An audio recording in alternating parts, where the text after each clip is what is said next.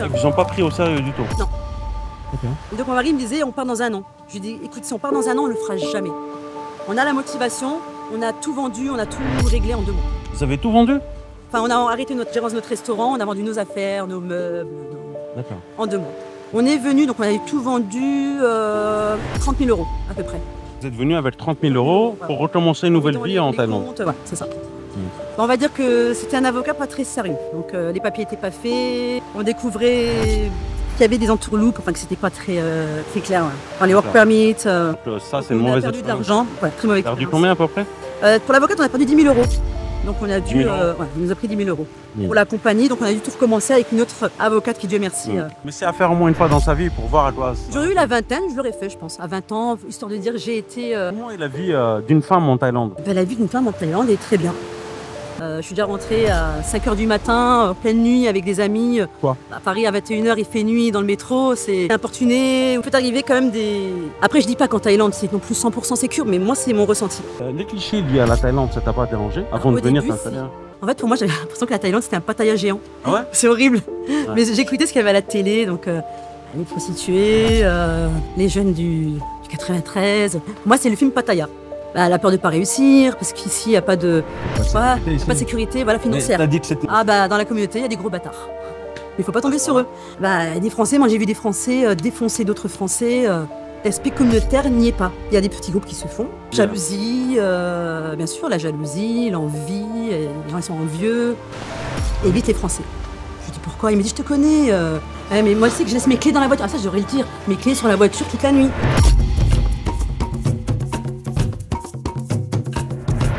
Est en direct de Thaïlande, je suis à Koh Samui et aujourd'hui je suis avec Ouda. Si l'actualité en Thaïlande vous intéresse et que vous voulez avoir des astuces pratiques, n'hésitez pas à rejoindre mon canal Telegram et la newsletter, je vous mets les liens en description. Salut Ouda Salut Comment vas-tu? Ça va très bien et toi? Ouais, enchanté de te rencontrer. Enchanté pareillement. Alors, qu'est-ce que tu fais en Thaïlande Ouda? Bah écoute, ça fait 5 ans que je vis en Thaïlande. Donc voilà, je fais un peu de pâtisserie. 5 ans aussi? Ouais, 5 ans. un, un petit peu de pâtisserie, mais ça. comment ça se passe? Ça se passe très bien. Des galères, des hauts, des bas, mais euh, on est là. Alors je peux savoir pourquoi tu es venu en Thaïlande Écoute, on avait euh, donc une grosse brasserie à Paris, donc, euh, avec euh, tout le travail, le stress qui va avec. Et on est venu rejoindre un ami en vacances, un ami qui a quitté Paris aussi également et qui a ouvert un petit hôtel à Copenhague. D'accord. Donc comme il a vu qu'on était stressé, que ça se passait pas très bien, un peu dans notre vie, un peu personnel, on a dit rejoignez-moi, faites des vacances, détendez-vous. Et Juste des vacances. c'était parti pour des vacances. Ouais. Cinq semaines de vacances. Alors comment ces 5 semaines se sont transformées en 5 ans? Bah, cinq semaines euh, bah, idylliques, euh, c'était vraiment euh, des très bonnes vacances. Donc on a vu qu'on était loin des soucis. Et euh, on a vraiment aimé que mon mari, bah, il a voulu revenir vivre en Thaïlande et faire un petit projet. Donc moi, j'étais pas pour à la base. Ah, tu voulais pas venir en Thaïlande? Moi, je suis très citadine. Je suis très Paris, je suis très euh, New York. euh. New York, les talons aiguilles, les sacs à main. Ah ouais, à ce moment-là? Donc les vacances, Thaïlande, les vacances, c'était bien pour des vacances, mais peut-être pas pour vivre. À la base. C'est-à-dire que ton style de vie avant, c'était plus euh, ouais, s'habiller, la Je mode. suis euh, parisienne. D'accord. parisienne. Un sac Louis Vuitton. euh, C'est ça? À peu près ça, c'est ça, à peu près. d'accord, Voilà, Les sacs, les sorties, les cinémas, les copains, les copines, les magasins. Ça, c'était ma vie. Et donc ton premier voyage euh, en Thaïlande, c'était où? C'était à Copenhague. À Copenhague. C'est ça. Et ne me dis pas que tu es arrivé à Copenhague en talons aiguilles. Si, je suis arrivée, pas en talons aiguilles, mais je suis arrivée en chaussures compensées, grand chapeau, valise à roulettes. Ouais. J'avais pas compris. Ouais. Je pensais que j'arrivais à Saint-Tropez. Donc, on a pris un bateau euh, qui s'appelle le Adrian Queen. Donc, euh, une heure de bateau, il y avait des backpackers sans basket, gros sac à dos. Puis moi, j'étais là avec mon. Donc, mon mari me dit Tu vois, je t'avais dit, faut pas les valises à roulettes. Ouais, ouais. Quand on arrivait à Copenhague, il pleuvait. Donc, euh, traîner les valises sous la boue, les chaussures, les Mm. taches sur la robe. Euh, Mm. Voilà. Je suis arrivée à Copenhague avec 40 kilos de valises pour Et 5 comment- semaines de vacances. Et comment t'ont perçu les gens alors En te voyant arriver euh, Ah, mon ami me connaissait. Mon ami me connaissait, donc on est arrivé dans son hôtel. Puis j'ai vu que c'était bientôt la full moon. Donc euh, ils m'ont tous vu arriver, ils m'ont regardé. Je n'ai plus jamais remis les chaussures ah, plus jamais. Plus jamais. En temps de... en tang. Alors comment ça s'est euh, passé? Est-ce que tu as vécu un choc culturel ou pas? Euh, à Copenhague alors choc culturel, en vacances non. Parce qu'on est en vacances, donc on visite des pays différents. Donc c'est pas vraiment un choc culturel. Mais euh, après, une fois qu'on s'est installé, donc on est reparti en France. On a annoncé à tout le monde qu'on partait, aux parents. Alors comment ils l'ont pris ça? Ils pensaient que c'était une lubie. Ils nous ont dit, bah, c'est un caprice, ils vont reprendre la raison. Et, euh, et quand ils ont vu qu'on tenait vraiment le, le truc, Ils vous ont pas pris au sérieux du tout? Non. Et donc mon mari me disait on part dans un an. Je lui dis écoute si on part dans un an on le fera jamais. On a la motivation, on a tout vendu, on a tout réglé en deux mois. Vous avez tout vendu? Enfin, on a arrêté notre gérance de notre restaurant, on a vendu nos affaires, nos meubles D'accord. en deux mois. Deux mois après, mois. on était de retourner à Copenhague. Mais est-ce que c'est un risque ou pas, ça, de tout vendre et de, C'est un risque. de partir Mais on s'est dit que c'est maintenant qu'on a le courage. On prend notre fille sous le bras et on le fait. Moi, je pars du principe où j'aime pas avoir des regrets. Donc, euh, je me dis que tant que j'ai deux bras, deux jambes, si Mm. ça foire, ben, on retourne en France, on retravaille dans la restauration et on pourra reconstruire un truc. Alors que si je le fais pas, Hmm. je vais me dire, mais ça se trouve, si j'ai pas suivi mon truc, peut-être j'aurais pu faire un truc bien. Ou, euh, Donc, c'est l'aventure. Voilà. Et vous êtes venu avec un budget de combien? On est venu, donc on avait tout vendu euh, 30 000 euros à peu près. Vous êtes venu avec 30 000 euros pour recommencer une nouvelle vie en Thaïlande. ouais. On peut parler un peu des, des premières galères que tu as connues? Euh, les premières alors moi de mon côté, c'est que j'ai eu, le, ah bah, j'ai eu le mal du pays. Au bout d'un mois, j'ai eu le Au mal bout du d'un pays. mois. ouais. Alors, qu'est-ce qui t'a manqué? Dis-moi. Ben, on passe le stade des vacances. Donc, euh, ce qui m'a manqué, ben, c'est ma famille. Je suis quelqu'un de très famille, j'ai mes frères et sœurs. Les parents, je les vois une fois par semaine quasiment. Enfin, mes parents habitent à Strasbourg. Je viens de Strasbourg à la base. Et donc, Paris-Strasbourg, en deux heures de train, euh, je vois mes parents. Puis là, c'est différent. C'est 12 heures de vol, donc c'est pas pareil D'accord, donc euh, le mal du pays. au début. Mais est-ce que tu as eu des galères euh, au pays du sourire? Alors, des galères, alors, le- le sa- une des galères qu'on a eues, c'est au sujet des avocats. Enfin, c'est une première avocate qu'on a rencontrée pour construire notre projet et qui nous a un peu. euh, C'était quoi le projet? On en parlera un peu a- plus tard, mais c'était quoi Juste en résumé? Pour commencer, on voulait ouvrir un bar à salade. Un, petit bar à salade sandwich, un truc tout simple, petite sandwicherie. euh, voilà. C'est ce qu'on voulait ouvrir au tout début. Et c'est ce qu'on a ouvert au tout début. D'accord Ça n'a pas été? Ben, soit on fonctionnait assez bien avec la Full Moon, parce qu'il y a beaucoup de jeunes, donc euh, on fonctionnait as- assez bien. Mm. Ensuite, on a, on a voulu changer de concept, parce que le, il y a beaucoup de gens qui font des, restos, des restaurants français, enfin des Mm. sandwichs. Et j'ai un ami qui me dit, mais Ouda, je comprends pas, tu es maghrébine. Pourquoi tu ferais pas des plats maghrébins, parce qu'il n'y en a pas sur l'île? Et donc j'ai commencé à faire des couscous. C'est ça, Ah, Ça marchait ou pas? Ça cartonnait. Ça cartonnait Je carrément faisais traiteur dans des villas, euh, j'ai commencé à en faire dans des villas, des tagines, ça a Ouais. cartonné. Ah, vraiment Ça a ok. cartonné. C'est vraiment qui s'appelait Green Island au tout début, c'est appelé la babouche. La babouche La babouche. D'accord. Sans plus efficace. Très cliché, hein Très cliché, très. Comme ça, on nous reconnaît, on nous retrouve. Donc, euh, des pâtisseries orientales, euh, Mm. couscous, tagines. On faisait des événements dans des villas, dans, dans des hôtels qui nous appelaient pour. euh, dans certains restaurants. J'en ai encore fait un il n'y a pas longtemps, dans un restaurant ici à Samui. C'est fini malheureusement. Alors, bah, la babouche, c'est fini pendant le Covid. Le. Covid est arrivé dans notre vie, donc on a dû. euh, Et tu parlais de, de galères avec euh, l'avocat, alors euh, tu peux en dire un peu plus On va dire que c'était un avocat pas très sérieux. Donc euh, les papiers n'étaient pas faits. On découvrait qu'il y avait des entourloupes, enfin que c'était pas très, euh, très clair. ouais. Enfin, les work permits. euh, Donc, euh, ça, c'est une on a mauvaise perdu de l'argent. Ouais, très mauvaise Perdu combien à peu près? Euh, Pour l'avocat, on a perdu 10 000 euros. Donc on a 10 dû, 000 euros. euh, ouais, il nous a pris 10 000 euros. Pour la compagnie, donc on a dû tout recommencer avec une autre avocate qui, Dieu merci, euh, Tu as des regrets, Ouda, aujourd'hui Ça fait 5 ans, est-ce que tu prouves des regrets ou est-ce qu'il y a des choses que tu aurais fait différemment? Des regrets. euh, Il y a des choses que j'aurais fait différemment, oui. Je pense que j'aurais directement ouvert un restaurant oriental plutôt que d'avoir investi et fait un petit restaurant français. Après, des regrets. Moi, je dis les épreuves, ça fait partie de la vie. C'est euh, c'est quand tu, tu te trompes, tu te plantes. C'est-à-dire que si je ne m'étais pas trompée, si on n'avait pas fait des erreurs à Pangan, on ne serait pas maintenant ici à Samui.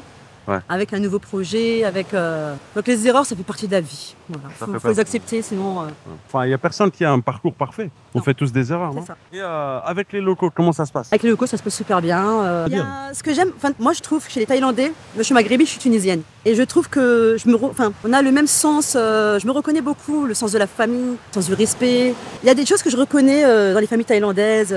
Euh, Ah oui ouais, c'est euh, Le respect des aînés aussi le respect des aînés, le, ouais, le respect de la famille, euh, la pudeur. euh, Il y a plein de choses que je Les, reconnais. les plats épicés. euh, Les plats épicés. Ah ben, je- moi, je me régale. Ici, je, je mange euh, pas de mac-mac.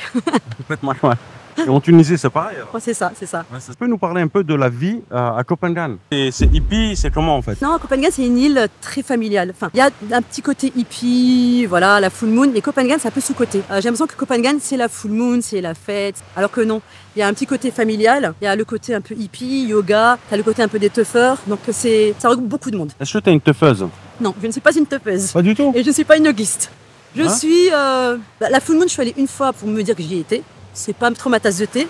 Ouais, t'en penses quoi soirées. T'en penses quoi Ah, c'est sympa, c'est des jeunes qui viennent du bout du monde pour... euh, Mm. Voilà, la peinture, la musique, c'est très commercial, mais j'aime bien. J'ai fait la, la full moon party, franchement, bah, j'ai pris un jus d'ananas. Mais c'était bizarre. C'était bizarre, parce qu'après, les gens autour de toi, Ouais. ils sont différents de toi, ils sont un peu plus... euh, Il y, y en a qui bien. prennent des champignons aussi, non? Ah, il y a des champignons, d'autres... euh, Yeah. Trop de drogue quand même, on va pas se mentir. Ouais, ouais. Voilà, donc euh, mais c'est à faire au moins une fois dans sa vie pour voir à quoi. ça- j'aurais eu la vingtaine, je l'aurais fait, je pense. À 20 ans, histoire de dire j'ai été euh, à la full moon. Ah, Puis il y a des d'accord. familles, de temps T'as en pas temps, il y a des 20 ans enfants. Je savais Non, j'ai pas. pas 20 ans, j'en ai 22. Est-ce que tu parles thaïlandais Euh, je parle un petit peu, Netnoy. Thaï Netnoy ka. Malheureusement, j'ai commencé des cours de thaïlandais en décembre de l'année dernière et j'ai eu un accident, malheureusement, Accident de, de Salang, Thai car. De Saika. C'est la petite mobilette avec euh, la caisse. euh, Qu'est-ce qui s'est passé? Oh, bah, j'ai- mal géré mon virage, j'ai pris un petit poteau et voilà quoi. D'accord, tout va bien maintenant? Tout va bien. Merci beaucoup et je déconseille le Saling, euh, Ah, c'est très dangereux. Il y a beaucoup d'accidents ici euh, à Saint-Mu ou pas? Alors que Samuel, là je suis en voiture, ah, je souffre. hein. C'est, il n'y a pas de règles, c'est, faut être focus tout le temps, tout le temps. euh, Faut avoir des yeux partout. T'es pas à l'abri d'une voiture qui déboule, d'un scooter. Surtout euh, pendant les full moon et quand il y a des touristes. Mm. Où le problème c'est que t'as beaucoup de jeunes qui, euh, bah, ils n'ont pas le permis en France. Ils ne roulent même pas un scooter en France. Ils apprennent à rouler sur place. Sur Moi, j'ai roulé un Saling parce que je ne sais pas rouler en scooter. Ah, Je d'accord. sais pas rouler en scooter, donc D'accord. fallait que je sois à plat. Mm. Et je me vois pas apprendre à rouler en scooter avec des gens qui savent rouler, être un danger pour moi et être un danger pour les autres. C'est ça que je trouve un peu. euh, Comment est la vie euh, d'une femme en Thaïlande? Ben, la vie d'une femme en Thaïlande est très bien. Moi, je me sens personnellement en sécurité. Euh, je suis déjà rentrée à 5 h du matin, en pleine nuit, avec des amis. On a fait une petite soirée, on rentre à la maison, on marche parce qu'il n'y a pas de taxi et euh, personne il t'arrive rien. Euh, même parfois un pick-up, monsieur a Vous allez où? Bon, on est monté sur la benne et je me suis pas sentie en danger une seule seconde. Enfin, c'est, euh, quelque chose que tu retrouves pas Ah, à non. Paris, ça? À Paris, on ne retrouve pas. Pourquoi? À Paris, à 21h, il fait nuit dans le métro, c'est importuné. Il peut arriver quand même des. Après, je dis pas qu'en Thaïlande, c'est non plus 100% sécure, mais moi, c'est mon ressenti. Moi, je me sens en tant que femme en sécurité en Thaïlande. Et en tant que mère aussi, pour ma fille. Tu as une Ouais. fille qui va à l'école ici alors? J'ai ma fille, elle a 9 ans, donc Ouais. elle va à l'école française de Koh Samui. Puis même les enfants, c'est. euh, Est-ce que c'est cher l'école ici? À l'école, c'est très cher.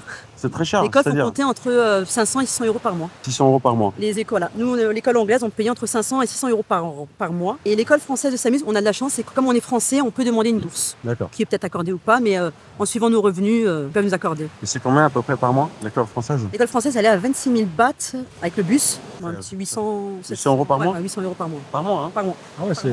L'éducation coûte très cher ici en Thaïlande. ok. Tu as besoin de combien de budget pour vivre par mois? Alors pour vivre par mois ici, on a besoin euh, à trois, donc mon mari, ma fille et moi. Euh, location, assurance payée, manger, euh, on va dire un bon 50 000 bahts. 50. 50 000 sans l'école. Hein. Sans Ouais. les- enfin, sans l'école. Ouais. Je parle de la location, payer les papiers, les work permits. En euros, ça fait un petit 1000. euh, 1300. 1300 euros. Petite parenthèse, si la Thaïlande ou l'Asie de façon générale vous intéresse, n'hésitez pas à vous abonner à la chaîne, à me suivre sur Instagram, je vous mets les liens en description. Ouda, tu viens souvent à la plage? Euh, très rarement. Je suis pas une fille de plage du tout. Pourquoi? Moi, je suis plus la piscine. C'est, euh, j'aime bien la plage. Alors, je vais pas faire la blasée de- des plages, et, euh, mais depuis jeune, je suis pas très plage. Alors, j'aime bien le plage le soir, manger au bord de la plage. Ouais. Et m'asseoir à la plage, non, Ouais. pas trop. Euh, Les clichés liés à la Thaïlande, ça t'a pas dérangé? Avant de venir t'installer hein En fait, pour moi, j'avais l'impression que la Thaïlande c'était un Pattaya géant. Ah ouais? C'est horrible. Mais j'écoutais ce qu'il y avait à la télé, donc euh, les prostituées, euh, les jeunes du, du 93. Moi, c'est le film Pattaya. C'est le film Pattaya. Ouais, c'est les clichés, quoi. Et moi, c'était l'image que j'en avais. Puis quand je suis venue, pas du tout, quoi. C'est, c'est Rien à voir. rien à voir. Mais t'es resté qu'à Copenhague par contre. Je suis restée qu'à Copenhague. Mais Copenhague, euh, je sais pas si c'est. euh, Moi, tu dis que Copenhague, c'est pas la Thaïlande. c'est pas la Thaïlande. c'est vrai, Donc t'as eu une vi- vision euh, biaisée de la Thaïlande. c'est ça. Et maintenant t'es à Koh Samui. Maintenant, je suis à Koh Samui. Et alors? C'est un peu comme Copenhague, c'est, c'est plus grand, c'est plus. euh, Mm. C'est quand même plus grand. Donc, c'est- voilà, il y a plus de, d'entertainment, il y a beaucoup plus de choses à faire, quoi. Est-ce que tu as eu des moments de doute lors de ton Bah, souvent, hein. parcours en Thaïlande Même en- parfois, même encore maintenant, c'est euh, bah, la peur de ne pas réussir, parce qu'ici, il n'y a pas de, Il n'y a pas de voilà, sécurité il y a pas de sécurité voilà, financière. t'as dit que c'était. Ah, Financière. financière. C'est-à-dire ici, ben, voilà, si on se plante, bon, ben, personne ne va nous donner de l'argent, nous aider, ou c'est très rare. À moins qu'il y ait la famille qui puisse t'envoyer et puis t'aider. euh. il n'y a pas d'aide ici. ouais. Non, il n'y a pas d'aide. Comme les derniers événements qu'on a vécus, on n'a pas eu d'aide. Ouais. Donc c'est. euh, La crise s'accrocher. sanitaire, tu veux dire Exactement. Comment tu as vécu ça? Ben, mon mari est rentré en France, donc il devait travailler pour euh, trois mois seulement, histoire de mettre du beurre dans les épinards. Il est resté Ouais. 15 mois. Il est resté comme- Il t'a laissé seul? Mais c'est ça avec ma fille. Alors, Donc, comment bah, comment t'as vécu ça? euh, mal. J'étais bien entière avec mes amis, mais mal. Parce que j'ai eu des doutes. qu'il n'allait pas revenir Non, c'est que je voulais aller le rejoindre parce que c'est quand même long, on est une famille. Mais euh, il me disait c'est mieux pour, en fait, pour notre fille. Pour notre fille, il me disait ne rentre pas, c'est catastrophique. Parce qu'il faut savoir qu'ici, c'était bien quand même. On, était, on a vécu ça bien. On va dire, on n'était Mm. pas enfermés. C'était, euh, on a Mm. vraiment bien vécu. Donc, euh, Ta fille a ses amis ici maintenant. hein? Elle a ses amis ici, elle a quasiment connu que la Thaïlande, ma fille. Elle n'a pas connu du tout la France alors. Mais Elle est venue, elle avait 5 ans, donc euh, elle en a 9. Socialement parlant, elle a vraiment vécu. Elle parle anglais, elle parle un peu thaï, elle parle Mm. français. Est-ce que c'est dur de donner de l'argent en Thaïlande, honnêtement? En faisant des business, ok, mais est-ce que c'est, tu trouves que c'est quelque chose de facile? Non, non. faut avoir la bonne idée, ne pas faire comme tout le monde. Par exemple, ne pas ouvrir de restaurant, parce que tout le monde met le délire d'ouvrir un restaurant. restaurant. À moins d'ouvrir un restaurant qui fonctionne avec le concept qui va avec. faut Mm. avoir une idée originale. Si demain, si demain, tu as quelqu'un qui veut ouvrir un restaurant français aujourd'hui, pourquoi? Il y en a trop. Il y en a trop? Il y en a trop et j'en connais qui ne fonctionnent pas du tout. À Copenhague, il y a 3-4 restaurants français et il y en a peut-être qu'un seul qui cartonne. Donc, il D'accord, c'est comme ça en fait. Faut avoir la bonne idée. Il faut avoir vraiment la bonne idée, quoi, le, le bon concept. euh, La babouche, le restaurant, on va dire, euh, le restaurant, c'est quoi maghrébin ça? C'est oriental. C'est Le restaurant oriental, il n'y en avait euh, qu'un seul. Il n'y avait qu'un seul. C'était nous et, et c'est dommage, on cartonnait bien jusqu'à la situation sanitaire. C'était euh, Est-ce que tu penses reprendre ça ici, à Koh Samui? En restaurant non, en événement pourquoi pas faire un event, couscous. euh, Mm. Mais sinon non, on est parti sur euh, tout à fait autre chose. Il y, a- y beaucoup de francophones ici à, à Koh Samui? Oui. Alors comment ça se passe? Entre les francophones Il y a une solidarité Oh. ou pas Ah, ça dépend. ça dépend. Ouais. Faut avoir les bons petits groupes. Honnêtement, on, on se dit tout ici. hein. Honnêtement, euh, non, ça dépend. euh, je peux dire des gros mots ou pas? Tu peux dire tout ce que tu veux. Ah bah dans la communauté, il y a des gros bâtards. Mais il faut pas tomber ce sur eux. Bah des Français, moi j'ai vu des Français euh, défoncer d'autres Français. L'aspect communautaire n'y est pas. Il y a des petits groupes qui se font. Moi par exemple, mes amis, on est comme ça quoi. C'est soutient, mais on a eu des déceptions dans les amitiés. C'est comme partout, c'est comme dans la vie. euh, C'est-à-dire, euh, on se met euh, des bâtons dans le ou c'est quoi en fait quand tu dis Jalousie, euh, bien sûr, la jalousie, l'envie, les gens ils sont envieux. Il y a des gens qui se poussent pas vers le haut, c'est des gens qui se. Ça, c'est dommage. Ah, C'est dommage. dommage. Moi, je trouve que c'est- vraiment dommage parce que un des conseils que j'ai eu de mon meilleur ami quand on s'est installé ici, à... il me disait Je te connais, tu es trop sociable. Il me dit Évite les Français. Ah Évite les Français. Je lui dis Pourquoi? Il me dit Je te connais. euh. Et puis nous, on aime bien être en Fran- entre Français, ça nous rappelle la maison, nos amis, on parle la même langue. C'est. Voilà. Donc, ça, c'est- oui, ça, c'est un regret c'est que si je vais recommencer à Copenhague, je me serais peut-être fait moins d'amis français. À ce point-là? Ouais, plus d'amis d'autres euh, pour m'ouvrir un peu plus. Après, c'est dans toutes les communautés, hein, les Portugais c'est pareil, les Italiens c'est pareil, enfin, les Anglais c'est pareil, dans toutes les communautés, bon ben c'est Hmm. c'est partout pareil quoi. C'est pas spécialement les Français on va dire. Est-ce que tu as des amis taille J'ai des amis thaï. Ouais. Et euh, bah, ils sont en face de mon restaurant. quoi, c'est quoi à un ami taille Parce que l'amitié en Thaïlande, euh, c'est pas la même que chez nous. C'est c'est vrai que c'est très rare de se faire des amis thaï, c'est ça prend du temps. Les Thaïlandais ils prennent du temps pour, euh, mais c'est faisable. C'est euh, enfin, parfois on peut aller profondément dans les conversations, parfois non, mais euh, c'est possible. Ça prend plus de temps je pense. Euh. plus sur la réserve les Thaïlandais. T'as pensé de visiter le reste de la Thaïlande ou pas? Oui. Le nord, Oui, oui, Bangkok? Le Nord, c'est mon objectif cette année. Je vais faire tout le Nord, rester un mois et demi. Bangkok, j'ai visité un tout petit peu. Mais c'est vrai que Copenhague, j'étais tellement bien à Copenhague que ça ne bougeait pas. Quoi. Qu'en pensait ta famille quand tu leur as dit que tu partais en Thaïlande? Ta propre famille? Catastrophe. Catastrophe. Ils ont une mauvaise image de la Thaïlande? Non, alors mes parents, alors ma mère, oui, alors ma mère regarde beaucoup la télé. Ma mère, elle suit un peu la télé. Elle me dit, mais voilà, il y a des meurtres, euh, kidnappent les petites filles. hein. En Thaïlande? Enfin, elle a cette image de prostitution infantile. Enfin, c'est ce qu'elle voit à la télé. Et au final, au fur et à mesure, elle a vu que j'étais plus détendue, euh, moins stressée qu'à Paris. Puis elle a vu qu'on était heureux tout simplement, donc euh, elle est contente. Ouais, elle est contente. C'est juste la distance avec sa petite fille qui l'embête un petit peu. Et d'ailleurs, elle a prévu de venir. Elle n'est jamais venue encore. Elle n'est jamais venue. Et puis ma mère lui faire prendre 12 heures d'avion, c'est compliqué. Co- Comment tu vis euh, la distance en fait? C'est difficile ou pas? Parce que tu es très famille. Comment ça se passe en fait? Il y a des fois où tu dors pas, qu'il y a des fois où tu es stressé, anxieuse. Oh, ouais, c'est pas qu'on dort pas, c'est qu'on est, quand on est triste, que tu rates tes anniversaires, tu rates des mariages de tes amis. C'est, on a l'impression que c'est pas qu'on est plus dans le même monde, mais c'est, c'est loin, quoi. Tu peux pas prendre le- l'avion pour aller faire un week-end chez tes parents, manger les petits plats du dimanche et revenir. Ça, c'est compliqué. Donc, on est en FaceTime, heureusement, parce qu'il y a quelques années, il n'y a pas de téléphone. Voilà, on se fait des FaceTime, mais c'est pas pareil. Et oui, heureusement que la technologie aujourd'hui facilite un peu euh, la communication. hein. Exactement. Vous parlez sur quoi alors? Euh, sur WhatsApp, sur euh, Messenger. Ouais, mais moi, sais que je laisse mes clés dans la voiture. Ah, ça, je devrais le dire. Mes clés sur la voiture toute la nuit. Tu laisses les clés sur. Moi, je laisse mes clés sur la voiture. Ah ouais? Les fenêtres ouvertes. Euh, L'autre fois, j'ai oublié mon téléphone. On te, on te fait rien. Voilà. Et là, Ça, c'est un et point, là, hein. le vélo n'est pas du tout attaché. Non. Et c'est vrai que j'ai déjà oublié ma voiture, les clés, le téléphone. Le lendemain matin, tu descends, euh, on touche pas tes affaires, quoi. Ça, c'est un truc. euh, voilà, le petit FaceTime, Messenger, et puis on se parle, on se regarde. Donc, Tous les jours? euh, quasiment ah, tous les soirs. Ma mère, c'est tous les jours. Houda, tu as dit la Thaïlande, c'est un pataille géant. Mais tu s'est vite rendu compte que non, en fait. hein. Voilà, que non. En fait, c'est les clichés qui. En fait, à la télévision, quand tu regardes des reportages, ils te montrent pas les beaux aspects de la Thaïlande. Moi, les reportages que j'ai vus, c'était bon, ben. Voilà, les. à la sulfureuse. Voilà, la sulfureuse. Donc, je me suis imaginé qu'en Thaïlande, toutes les rues étaient comme ça, illuminées, enfin, avec les filles.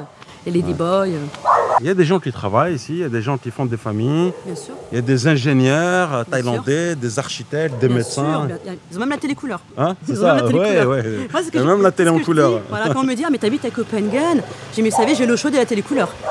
Ah oui, il y a la euh, télé à Copenhague. Il y a la télé. Il y a la télé à Copenhague. Bon, il n'y a pas que des champignons à Copenhague, hein, Non. Hein, c'est ça? Ouais. Hmm. Faut enlever le cliché. mais, euh. mais c'est vrai que Copenhague, quand même, c'est très euh, hippie, quand même, non? C'est un délire euh, particulier. Non, c'est Copenhague souffre de cette réputation, mais il y a de tout en fait. Il y a les parties, il y a la full moon, il y a les yogas, il y a des gens très, voilà, des, des- des riches russes qui ont des villas. Enfin, il y a vraiment de tout en fait. Mm. Voilà, faut juste se déplacer, chercher des bonnes petites soirées un peu cachées, donc c'est D'accord. c'est sympa. Euh, une question sur les Thaïlandais maintenant. J'aimerais savoir comment tu réagis voilà, lorsque tu as des Thaïlandais en face de toi et qui euh, voilà, qui te disent pas sincèrement ce qu'ils pensent pour, par peur de t'offenser en fait. Tu sais, les Thaïlandais ils sont pas frontales en fait. Ouais, j'ai j'ai appris ça, ouais, c'est. euh, Le c'est- Krenjai, ça s'appelle. Ouais, je crois qu'il veulent, ouais, faut pas leur faire perdre la face. Aussi. C'est. euh, bah, ce que je fais, c'est que bah, j'essaie de pas les vexer non plus. Donc ça se voit malheureusement sur mon visage que je suis un peu vexée. Mais euh, j'ai eu des petites situations où on me disait pas franchement les choses. Puis qu'après, Ça t'a énervé ou pas? Ça m'a énervé. Tu t'es déjà énervé Alors, là, il y a une coiffeuse qui est juste derrière qui m'a, elle m'a abîmé mes cheveux. Je lui ai montré une photo, elle m'a dit qu'elle pouvait me le faire. Ouais. Je te jure qu'à Paris, j'aurais pété un câble, j'aurais retourné la- le salon de coiffure. Et en fait, elle était tellement euh, mais contente de son résultat, je sais pas. Eh ben, pas. En plus, elle était toute mignonne, je, bah, je me suis pas embrouillée avec elle. Mon mari m'a dit Mais purée, t'as payé 1002, tu, tu lui as même pas dit que c'était. 1200 Elle m'a dit Ça va? J'ai dit Ouais. J'ai dit Oui, je suis sortie. Ouais. Et ben, Alors que je voulais pas la. Ouais, T'aurais retourné la boutique Paris, à Paris. j'aurais- J'aurais dit rembourser, recommencer, tu me rembourses. Je sais pas, c'était. Après, elle était vraiment convaincue. Et non, la coiffure ne s'apprend pas sur YouTube. Faut faire des études pour ça. Mais bon, Mm. j'irai chez quelqu'un d'autre, c'est pas grave. Ça, c'est un bon exemple en fait. C'est la gentillesse des gens en fait. Tu... Ouais, c'est. Tant pis, il faut se dire, bon bah, tant pis. Tant pis, c'est des cheveux. Voilà, c'est. Et tu vois, quelques années avant, j'aurais pas réagi comme ça, tu vois. Je me serais énervée tout de suite. Et puis, euh, ça rend zen la Parce Thaïlande. parce qu'en fait, tu te serais énervé, qu'est-ce que ça aurait apporté? Tu l'aurais fait perdre à la face Bah, peut-être? mm, ouais, mais en plus, ça m'aurait peut-être pas remboursé. euh, Enfin, voilà, la Thaïlande, ça rend zen. hein, c'est- en fait, il y a des problèmes qui sont plus graves qu'une sorte de cheveux. Voilà, maintenant, c'est ce que je me dis. Il y a plus grave. C'est pas grave. Voilà, on va pas perdre la face. Elle me dit encore bonjour quand on se croise, on se dit bonjour. Par contre, je retournerai plus chez elle faire mes cheveux. Ça, c'est sûr. Certitude. Donc tu as dit que ton mari était rentré en France, donc euh, il a bossé euh, pour gagner un peu d'argent, pour revenir. Est-ce que tu peux nous présenter ton mari? Bien sûr. Il est là, hein? Il est là. On va voir Julien. Et là aujourd'hui, vous vivez de quoi? Alors là, on vit de la pâtisserie. On travaille beaucoup pour des professionnels, des hôtels, des restaurants, euh, des salons de thé, euh, même à Pangan. Donc pour l'instant, on vit de ça. Pâtisserie orientale ou euh, Alors, pâtisserie française et un peu orientale. On peut jeter un coup d'œil à ça ou pas? Alors oriental, j'ai pas, parce que j'ai pas fait. Moi, je fais la commande de l'oriental par contre. Mais le français, là. Alors donc tu vas nous présenter euh, ta fille Oui. et puis euh, ton mari. Exactement. Donc Ok. là, bah, il y a ma fille Alena. Bonjour, comment vas-tu? Ça va, Tu parles thaï? Ouais un peu. Vous thaï thaï, mai? C'est- et Je, je comprends pas. Euh, Tu as quel âge? 9 ans. Tu aimes bien la Thaïlande? Ouais, mais je préfère Samui. Pourquoi? Bah, parce qu'il y a des shops et en plus, il y a l'école française. Et t'aimes bien la nourriture en Thaïlande? Ouais. T'as des amis thaïlandais Ouais. Comment ils s'appellent Euh, bah, là-bas, il y, a un- il y a un petit. euh, Il y a des massages, mais en fait, mes amis taille, c'est c'est que des grands. Il y a que des grands. Ils s'appellent comment Je m'en rappelle plus. Dana. Qu'est-ce que t'aimes manger en Thaïlande Euh, du riz poulet.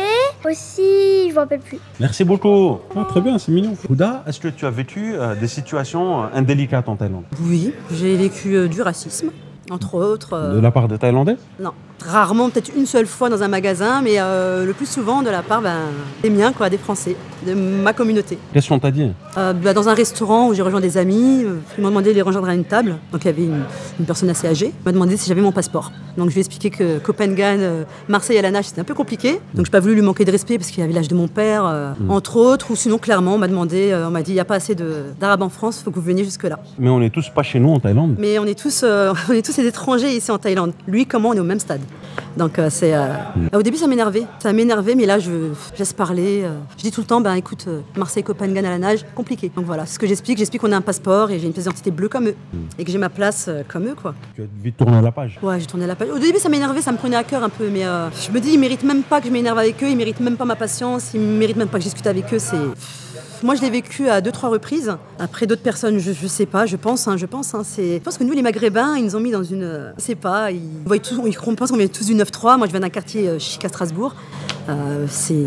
Voilà, je suis pas le, la petite racaille du quartier, donc euh, c'est assez. euh, c'est dommageable, mais bon. Et on va voir ces pâtisseries. Allez, bah, je t'en prie. Viens. Bienvenue dans l'antre. Salut Bonjour Bonjour, Comment ça va? Ça va et toi? Ouais, ça va. On, on déguste les pâtisseries en cachette. Tu filmes vraiment? Ah oui, Ah bah d'accord. oui. Ah oui, ici Non, on... non j'allais préparer une petite euh, une ganache pralinée cacahuète. Ouais. Ganache montée pralinée cacahuète. Alors, tu es pâtissier depuis combien de temps?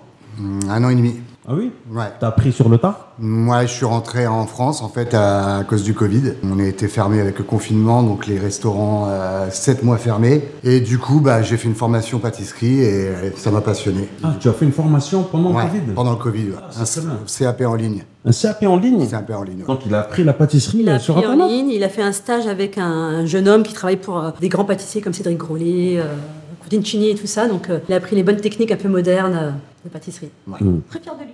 Quel est le secret euh, d'une bonne euh, tarte? La générosité, la passion, l'amour. Ouais. J'ai failli verser ma larme. C'est trop beau ce que tu as dit.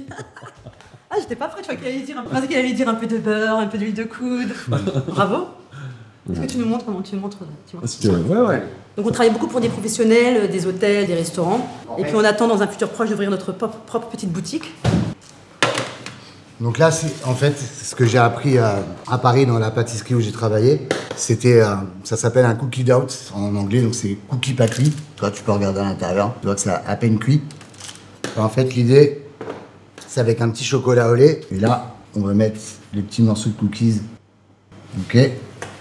Après, une petite pointe de caramel par-dessus. Et là, j'ai des cacahuètes caramélisées. Je viens juste mettre là comme ça. Et ça, on l'appelle la cookie dough. Après, j'ai fait la brownie doux. Ouais. Donc, la cookies, la brownies et aussi, notre délire, la bounty. Deuxième. Alors, évidemment, pendant la période du Covid, c'est une période difficile pour tout le monde. Et pour certains, il a fallu se reconvertir, en fait. Voilà. Et tu as fait le choix de... De faire de la pâtisserie, alors c'était pas mon premier choix, c'était à la base je devais faire salé, très salé.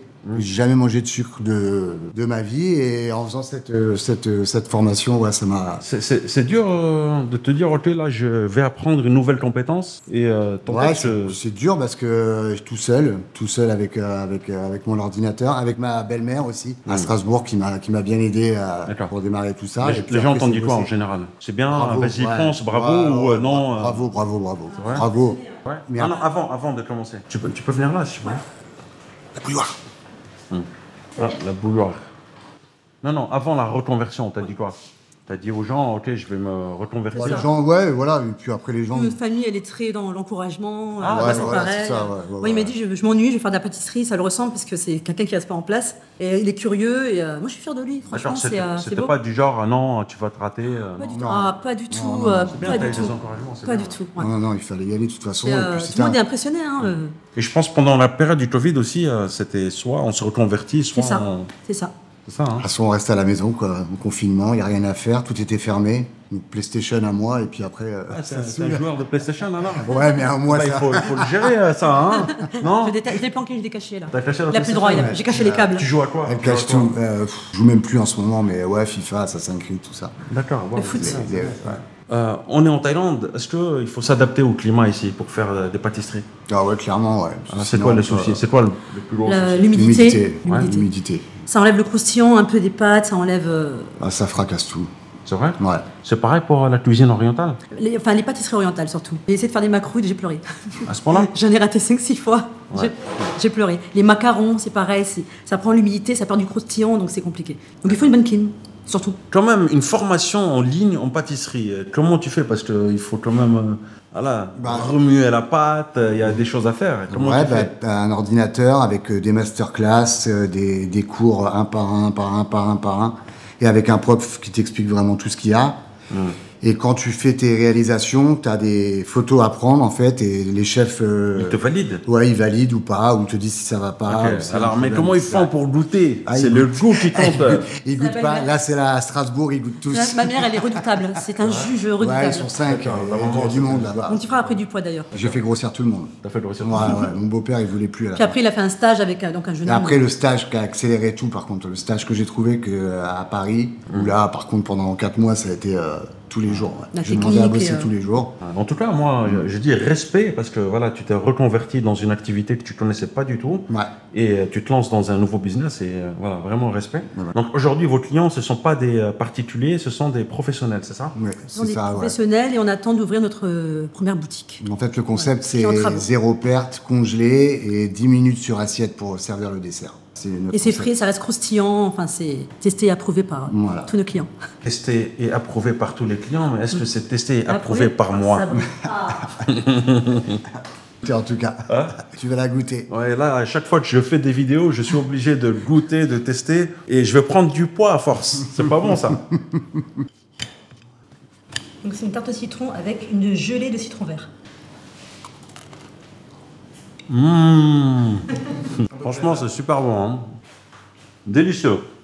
Merci Mais beaucoup. tu veux pas le goûter avec moi? Ah ben moi, c'est mon péché mignon, c'est la tarte au citron. Avec la petite gelée de citron vert, magnifique.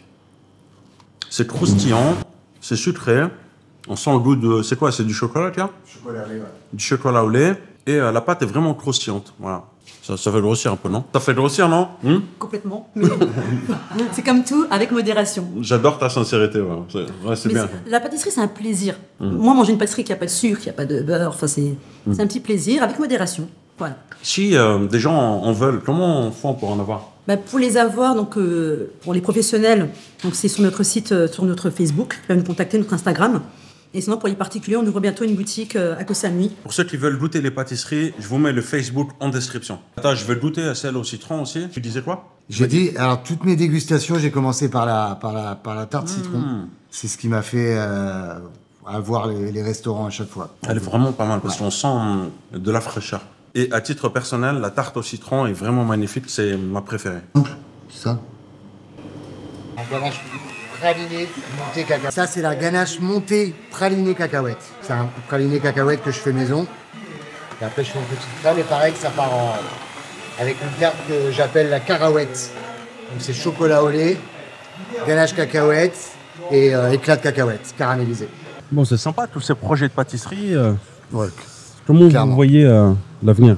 Ah, de continuer à bosser avec euh, beaucoup de professionnels et puis d'ouvrir la petite boutique. Ça fait un an que je m'essaye avec les pros, donc maintenant j'ai envie d'essayer avec, les... avec mon petit salon de thé. Vous avez déjà fait goûter vos pâtisseries à des Thaïlandais ou pas? Oui. Oui, oui, oui, oui. Et les Thaïlandais aiment beaucoup le sucré. Ouais. Mais tu m'as euh, dit, Ouda, que tu voulais aussi adapter. euh, C'est ça, on est en train de voir avec euh, le pandam, par exemple, c'est euh, donc une racine thaï très sucrée, donc il faut un peu doser, on va faire des essais, on va essayer avec des herbes thaïlandaises, enfin, on peut essayer de faire aussi des tartes. On fera pas avec du durian, mais euh, on va essayer avec. Pourquoi pas le dorian Non, c'est compliqué, c'est Je chaud. pas le durian. C'est chaud à travailler. Enfin ouais, mais déjà pourquoi je. pas Pourquoi pas Pourquoi pas Déjà l'odeur pas, pas top, mais euh, ouais après peut-être pourquoi pas. Ouais. Mhm. Pourquoi pas. À voir. Pourquoi pas Corne de gazelle au durian, à essayer. Mais euh, tu sais que quand je t'ai vu la première fois, ta tête me dit quelque chose. Peut-être. J'ai Alors fait euh, une petite émission sur TF1 il y a 11 ans. Ah oui? Quatre mariages pour une lune de miel. Ah, c'était la saison 2. euh, c'était l'épi- euh, l'épisode 2 de la saison 2. Et euh, j'étais avec euh, trois filles. euh, donc on passe notre mariage et on se note. euh. D'accord. Et t'as une bonne note à ton mariage alors? Bah écoute, j'étais deuxième. Ah, Euh, c'est bien, la ça. fille qui a gagné, c'est devenue une très bonne amie à moi. On s'est rencontrés le jour de son mariage Sur TF1, hein? Sur TF1. D'accord. Ça date. Hein. C'est ta Virginia Ouais. Mmh. Oui, c'est avec Julien Mubil. Comme c'est un autre mari, tu sais. Est-ce que tu penses que vous allez euh, vivre longtemps encore en Thaïlande Bah, J'espère. Je... Plus ça va, plus je me sens chez moi. Donc euh, j'espère du fond du cœur. ouais. Tu ne te vois pas revivre en France aujourd'hui? Non. Vraiment? Non. Un autre Pourtant pays? j'aime la France, c'est mon pays, j'aime la France pour plein de choses, mais, euh, mais actuellement non. Je préfère ma vie ici. Je vous souhaite bon courage pour la suite et merci beaucoup pour euh, votre partage d'expérience. Merci à beaucoup. toi Merci à toi d'être venu nous voir. voilà. Et puis reviens manger des, des- des- des desserts chez nous quand tu es sur Samui. Et à tous ceux qui te regardent, bah, surtout de ne pas hésiter d'être heureux. Ouais. Et s'il y a un projet, il faut aller, il faut foncer. Et si on tombe, on se relève. On se relève. Si on tombe, on se relève. Et si on tombe une troisième fois. Et on se relève on On encore. recommencera encore indéfiniment. Et on se relève et on se relève. C'est ça Voilà, on le se mindset. relève tout le temps. Je vous mets deux autres vidéos que vous pouvez regarder. N'hésitez pas à vous abonner à la chaîne, à me suivre sur Instagram. Prenez soin de vous et je vous dis à très bientôt. Ciao, ciao